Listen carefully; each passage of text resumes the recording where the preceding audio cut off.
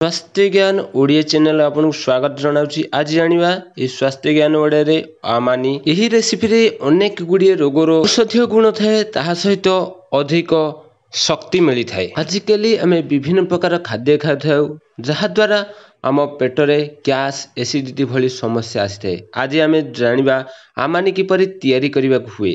ଏହି ଚାଉଳରେ ଆପଣ ପଖାଳ ତିଆରି କରିପାରିବେ ଯାହାକି ମାଟି ହାଣ୍ଡିରେ ପ୍ରସ୍ତୁତ ପଖାଳ ଆମାନି କେମିତି ଭାବେ ପ୍ରସ୍ତୁତ କରିବେ କେମିତି ରଖିବେ ଯାହାଦ୍ୱାରା କି ଏଥିରେ ଅଧିକ ପ୍ରକାରର ଭିଟାମିନ୍ସ ମିନେରାଲ ପାଇପାରିବେ। ଏହା ଏକ ନୂଆ ତଥ୍ୟ ଆଜ୍ଞା।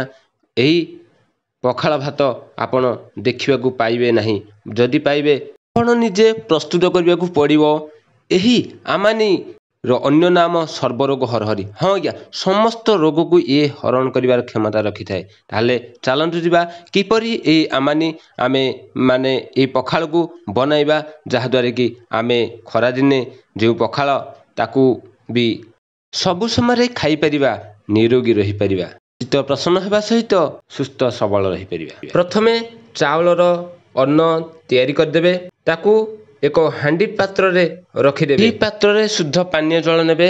ଯେମିତିକି ସେହି ପାତ୍ରରେ ଥିବା ଅନ୍ନର ଉପରେ ଦୁଇ ଇଞ୍ଚ ଉପରକୁ ଜଳ ରହୁଥିବ। ଏହା ପରେ କୌଣସି ଢାଙ୍କଣ ନ ଦେଇ ଏକ ଧଳା କପଡ଼ା ନେଇ ଢାଙ୍କି ଦେବେ ଏହାକୁ ପନ୍ଦରରୁ ସତର ଘଣ୍ଟା ଆପଣଙ୍କୁ ରଖିବାକୁ ପଡ଼ିବ।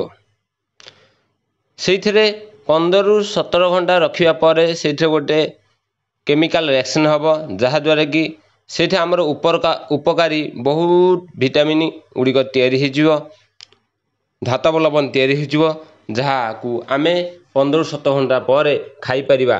ଏହାକୁ ଖାଇଲେ ଆମର ସମସ୍ତ ରୋଗ ଏସିଡ଼ିଟି ଗ୍ୟାସ୍ ଏଭଳି ସମସ୍ତ ରୋଗ କଟିବା ସହିତ ଆମର ଦେହକୁ ଶକ୍ତି ଆସିଥାଏ। ଆଉ ଗୋଟେ ଭିଟାମିନ୍ ରୂପେ କାମ କରିଥାଏ। ମୁଖ୍ୟତଃ ଯେଉଁମାନେ ଶାରୀରିକ ପରିଶ୍ରମ କରୁଛନ୍ତି ସେମାନଙ୍କୁ ବହୁତ ବଳ ଲାଗିଥାଏ।